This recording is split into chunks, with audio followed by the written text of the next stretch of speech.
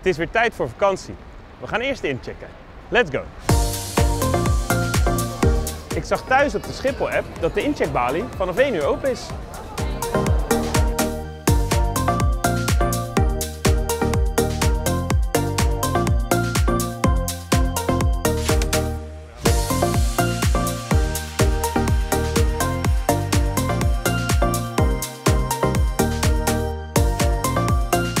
Op naar security. Mijn boardingpas en paspoort kan ik nu even opbergen.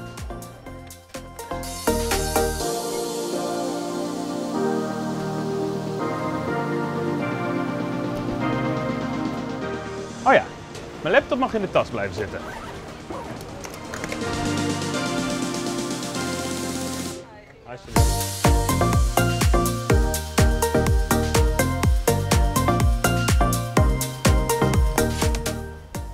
Fijne reis.